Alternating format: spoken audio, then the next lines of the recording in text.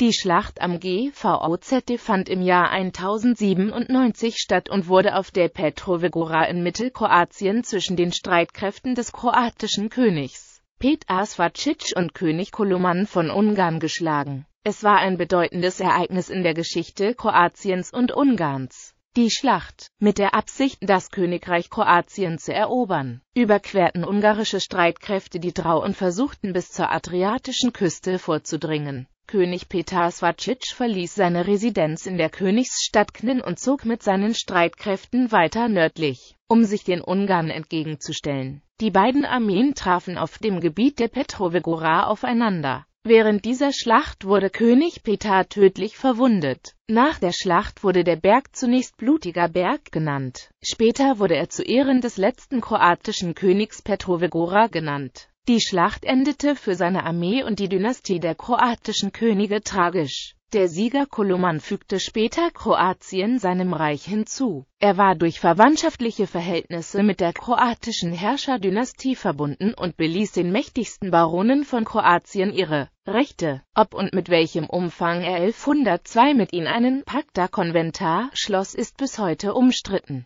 Koloman wurde im Jahr 1102 in Biograd na Moru zum kroatischen König gekrönt Kroatien blieb bis 1918 mit Ungarn verbunden. Bedeutung des Namens GVOZD GVOZD bedeutet heute nur noch dichter Wald oder Karstgestein, im älteren Gebrauch auch Eisen, heute ist hierfür die Ableitung Quoste, ein Gebirge, früher auch GVOZD genannt, trennte die mittelalterlichen Territorien Kroatiens und das binnenländische Slawonien und nennt sich heute Kapela. Siehe auch Liste von Schlachten Liste von Kriegen und Schlachten im 7. bis 13. Jahrhundert Liste der Herrscher Kroatiens. Liste der Herrscher von Ungarn